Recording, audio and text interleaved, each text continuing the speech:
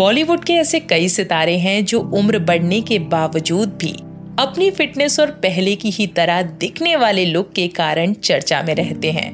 उन्हीं में से एक नाम है सिमी ग्रेवाल। सिमी ग्रेवाल तिहत्तर साल की हुई हैं, लेकिन आज भी वो पहले की तरह ही जवान और फिट नज़र आती हैं। सिमी को करीब से जानने वालों के मुताबिक ऐसा इसलिए है क्योंकि उनकी लाइफ रूटीन थोड़ी अलग है। तो चलिए थोड़ा बहुत आज जान लेते हैं सिमी ग्रेवाल के बारे में। इसकी शुरुआत करते हैं उनके शुरुआती जीवन से। सिमी ग्रेवाल ने बेहद ही कम उम्र में दुनिया भर के कई देशों के चक्कर लगा दिए थे। दरअसल सिमी का जन्म तो 17 अक्टूबर 1947 को दिल्ली में हुआ था। लेकिन उनका पालन पोषण इंग्लैंड में हुआ और उनकी पढ़ाई लिखाई वहीं के न्यूलैंड हाउस स्कूल से हुई थी। इसी स्कूल में उनकी बहन अमृता भी पढ़ती थी। सिमी का पूरा बचपन इंग्लैंड में ही बीता, लेकिन जवानी के दिनों में वो भारत चली आई। दरअसल, इस दौरान उनका पूरा परिवार भारत लौट आया था।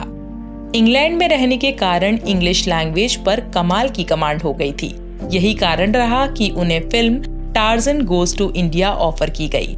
हैरानी की बात यह है कि इस वक्त सिमी की उम्र महज पंद्रह साल की थी। बॉलीवुड में सिमी ग्रेवाल ने अपनी डेब्यू उन्नीस सौ बासठ में फिरोज खान के साथ की थी। सिमी की एक बड़ी उपलब्धि ये भी है कि उन्होंने बड़े निर्देशक जैसे राज कपूर, सत्यजीत रे, मृणाल सेन और राज खोसला के साथ भी काम किया है। वैसे तो सिमी ने कई सारी फ़िल्मों में काम किया है, लेकिन उनके करियर की सबसे ज़्यादा लोकप्रिय फ़िल्म मेरा नाम जोकर और सिद्धार्थ रही है। यश चोपड़ा रिश्ते में सिमी ग्रेवाल के ब्रदर इन लॉ लगते हैं। सिमी ने 1970 के मध्य में यश चोपड़ा की फ़िल्म कभी कभी और 2003 में आई फ़िल्म चलते चलते में भी काम किया है।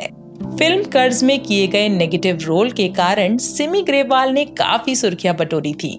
इस फ़िल्म के बाद वो लोगों की नज़र में भी आ गई थी। 1980 के शुरुआती दौर में सिमी को ऐसा लगा कि उन्हें कुछ अलग और नया करना चाहिए। इसके बाद उन्होंने अपने करियर की शुरुआत लेखन और निर्देशन के क्षेत्र में भी की। इस दौरान उन्होंने अपनी एक प्रोडक्शन हाउस की भी शुरुआत की, जिसका नाम रखा गया सिगा आर्ट इंटरनेशनल। इस प्रोडक्शन हाउस के तहत उन्होंने दूरदर्शन के लिए एक TV series it's women world का निर्देशन, निर्माण और लेखन का भी काम किया। इसके अलावा उन्होंने यूके के चैनल फोर के लिए भी काम किया। इस चैनल के लिए उन्होंने एक डॉक्यूमेंट्री बनाई जिसका नाम था लिविंग लेजेंड राज कपूर। इस डॉक्यूमेंट्री के लिए उन्होंने पूर्व प्रधानमंत्री राजीव गांधी का भी इंटरव्यू लिया था। इसके अलावा सिमी ग्रेवाल ने एक हिंदी फीचर फ़िल्म रुखसत का लेखन और निर्देशन भी किया। इसके साथ ही एक टेलीविज़न कमर्शियल का भी निर्माण किया। बड़े पर्दे पर काम करने के बाद सिमी ग्रेवाल ने टेलीविज़न पर वापसी की। और स्टार प्लस के talk show India most desirable में बतौर होस्ट काम किया। इसके साथ बीबीसी की डॉक्यू ड्रामा महाराजाज के लिए भी काम किया।